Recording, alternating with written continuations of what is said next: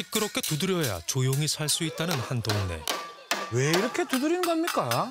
맨날 두들겨요 맨날 아침마다 속상해도 어디다가 하소연할 데가 없어요 이런 적본 적 없어요 처음이라니까요 주민들이 쫓고 있는 건 평화가 아닌 갈등을 몰고 온다는 비둘기입니다. 엄청 많아요. 하나 살려 있어 전, 전시조합 비둘기가 이제 뭐또 비둘기가 주인 됐지 뭐 비둘기 떼가 몰려드는 이유는 무엇일까요? 원래는 걔가 나타나서 뿌리기 시작하더라 그러자마자 잠깐 씩 뿌리고 가 맞으면 온 세상 돌아다니는데 어? 그 비둘기에 대해서 말만 해도 연세가 많으셔도 근육하고 그래 비둘기 먹이를 뿌리고 바람처럼 사라진다는 의문의 여인. 저게 비둘기 먹이에요, 다?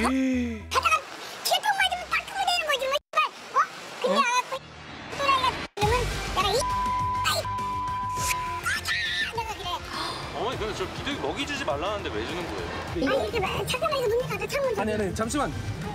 어머니 같이 같이 얘기 좀 해요. 아이고 아이고 아이고 아이고 아이고 아이고 아이고 수백 마리의 비둘기를 모여들게 한 일명 비둘기 엄마. 이곳에선 무슨 일이 일어나고 있는 걸까요? 비둘기와 전쟁을 치르고 있다며 실화탐사대에 도움을 요청한 사람들. 공원 앞 전깃줄이 비둘기에게 점령을 당해 골머리를 앓는다는 제보였습니다. 아이고 똥 떨어지면 근데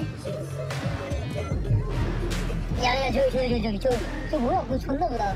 마치 피리 부는 사나이처럼 비둘기를 몰고 다니는 사람이 있다는 것.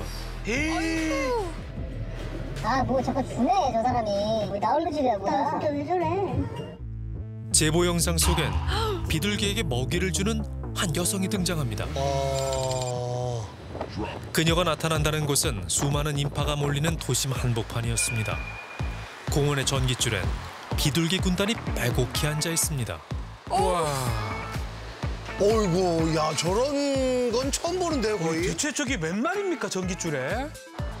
언뜻 보기에도 보통의 비둘기보다 비대한 몸집. 어마어마한데요? 제작진이 다가가자 수십 마리의 비둘기들이 달아납니다. 공원 옆 폐건물은 이미 비둘기들의 성이 돼버렸습니다. 너무 많은데요? 어휴,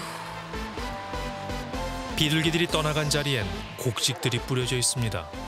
오 공원엔 구청에서 파견된 비둘기 담당 직원까지 있는데요. 기관자에 저저 부처에서 나와가지고 꽃을 왜 써요?